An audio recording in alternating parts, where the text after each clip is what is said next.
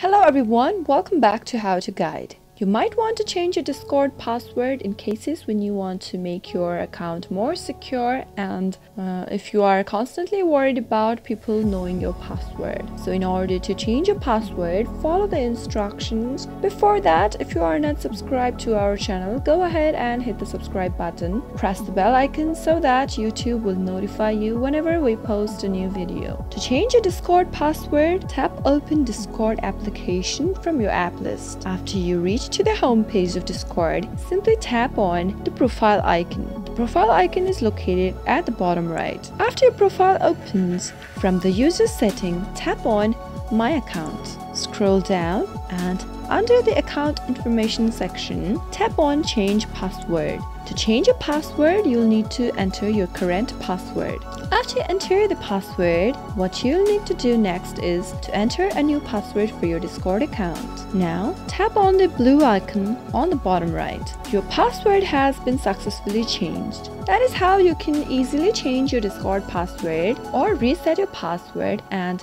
make your account more secure. I hope you found the video useful. If you did, go ahead and give it a thumbs up. Feel free to comment down below in the comment box if you have a question or feedback. I'll surely be back again with more tutorial episodes. Thank you for watching.